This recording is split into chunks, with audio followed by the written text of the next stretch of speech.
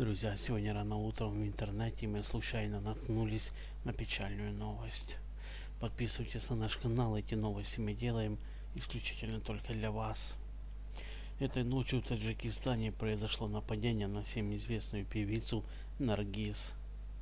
Ее все помнят, так как некоторое время она жила и выступала на территории России. Сообщается о том, что ее автомобиль был расстрелян неизвестными лицами из автоматического оружия недалеко от ее дома. Это произошло в тот момент, когда она возвращалась домой после концерта. На данный момент певица находится в тяжелом состоянии в одной из больниц города. Это закрытая информация, подробности тяжело узнать, никто никому ничего не рассказывает. Завтра рано утром продолжение этой трагедии выйдет в нашем новом выпуске на нашем YouTube канале, поэтому подписывайтесь на наш канал, друзья, и следите за нашими новостями.